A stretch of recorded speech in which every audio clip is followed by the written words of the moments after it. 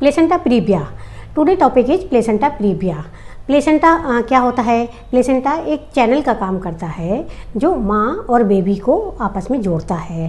क्योंकि जो माँ का न्यूट्रिशन होता है, ऑक्सीजन होता है, खाना होता है, वो प्लेसेंटा के थ्रू बेबी तक पहुँचता है। और जो बेबी के वेस्ट हैं, वो प्लेसेंटा के थ्रू ही माँ तक वापस आते हैं। नॉर्मली क्या होता है, जो प्लेसेंटा अटैच होता है, यूट्रस पे, माँ के गर्भाशय पे अटैच होता है, वो ऊपर की बॉल पे, अपर सेगमेंट पे, या जो उसकी साइड बॉल होती हैं, उस पर अटैच होता है। लेकिन एक से दो परसेंट केसेस में ये प्लेसेंटा ऊपर की बजाय नीचे लोअर सेगमेंट में अटैच हो जाता है। प्लेसेंटा प्रीविया में प्लेसेंटा यूटस के नीचे वाले सेगमेंट में लोअर सेगमेंट में अटैच हो जाता है और ये कभी कभी इतना नीचे होता है कि सर्वाइकल हाउस के बिल्कुल नज़दीक हो जाता है। एक या दो सेंटीमीटर नज़दीक होता है या जो सीवियर केसेस होते हैं प्लेसेंटा प्रीविया के, जो टाइप फोर प्लेसेंटा प्रीविया होता है, उसमें ये सर्वाइकल हाउस को पूरा कवर कर लेता है। जिसकी वजह से कभी कभी डिलीवरी में प्रॉब्लम आ सकती है, माँ को ब्लीडिंग भी हो सकती है तो बहुत सारे कॉम्प्लिकेशन भी हो सकते हैं। ये हम डिटेल्स में आज की वीडियो में जाएँगे प्लेसेंटा प्रीविया के क्या कारण हो सकते हैं? आज हम ये डिस्कस करेंगे।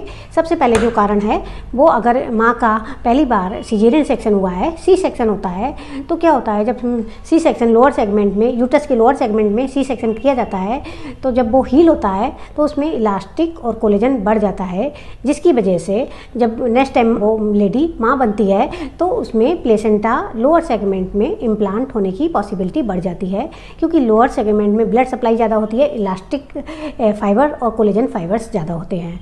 तो इस केसेस में प्लेसेंटा प्रीविया के चांसेस बढ़ जाते हैं। मल्टीपल गेस्टेशन अगर ट्विन प्रेगनेंसी है ट्रिपलेट प्रेगनेंसी है तो भी प्लेसेंटा प्रीविया के चांसेस बढ़ जाते हैं। इसी तरह से मल्टीपैरिटी है।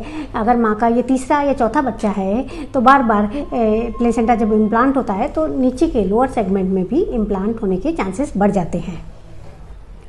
अगर किसी लेडी के यूट्रस में नीचे फाइब्राइड या रसोली होती है मसल्स के में रसोली होती है तो भी प्लेसेंटा प्रीविया की पॉसिबिलिटी बढ़ जाती है। प्लेसेंटा प्रीविया में नॉर्मली कोई भी सिम्टम दिखाई नहीं देता है। इसमें कभी कभी तीसरे महीने में पेशेंट को ब्लीडिंग दिखाई देती है। इस ब्लीडिंग में क्या होता है? ये ब्लीडिंग सडन होती है और रेस्ट करते समय होती है। पेशेंट को अचानक ब्लीडिंग हो जाती है। जैसे पेशेंट सो रहा है तो दे, वो देखता है कि उसको अचानक से ब्लीडिंग शुरू हो गई जिसका भी कोई भी कारण नहीं होता है। कॉजलेस ब्लीडिंग होती है और ये अगर ब्लीडिंग दो तीन बार हो जाती है रिकरेंट ब्लीडिंग होती है तो मदर को हीमोग्लोबिन हीमोग्लोबिन की भी कमी हो सकती है। मदर को एडमिट भी कराना पड़ सकता है। दूसरे, तीसरे बार अगर ये ब्लीडिंग होती है तो मदर को बेड रेस्ट की एडवाइस दिया जाता है और उसे कभी कभी एडमिट करने की भी ज़रूरत पड़ सकती है। ये ब्लीडिंग पेनलेस होती है। इसमें कोई भी दर्द नहीं होता है। प्लेसेंटा प्रीविया के चार टाइप्स हो सकते हैं। इसमें जो पहले दो टाइप्स होते हैं टाइप वन और टाइप टू ये माइनर कहलाते हैं और टाइप थ्री और टाइप फोर मेजर कहलाते हैं, क्योंकि इसमें ज़्यादा पेशेंट को प्रॉब्लम आती है। टाइप वन प्लेसेंटा प्रीविया में क्या होता है? जो प्लेसेंटा होता है, वो सर्वाइकल आज से टू सेंटीमीटर दूर होता है और इसमें बेबी को कोई भी नुकसान नहीं पहुँचता है, ना ही माँ को कोई प्रॉब्लम आती है। ये इसमें डिलीवरी भी नॉर्मल हो जाती है और ये सर्वाइकल हाउस से टू सेंटीमीटर के करीब दूर होता है सर्वाइकल हाउस को टच नहीं करता है। टाइप टू प्लेसेंटा प्रीविया में ये प्लेसेंटा का जो लोअर सेगमेंट है, वो आस तक पहुँच जाता है। Type two is marginal placenta previa इसमें प्लेसेंटा इंटरनल हाउस तक नहीं पहुँचता है, लेकिन उसके मार्जिन को टच करता है, इसलिए इसे मार्जिनल प्लेसेंटा प्रीविया कहते हैं। टाइप वन और टाइप टू ये माइनर होते हैं। इसमें पेशेंट और बेबी को ज़्यादा कोई नुकसान नहीं पहुँचता है, लेकिन जो टाइप थ्री और टाइप फोर होते हैं, वो डेंजरस होते हैं।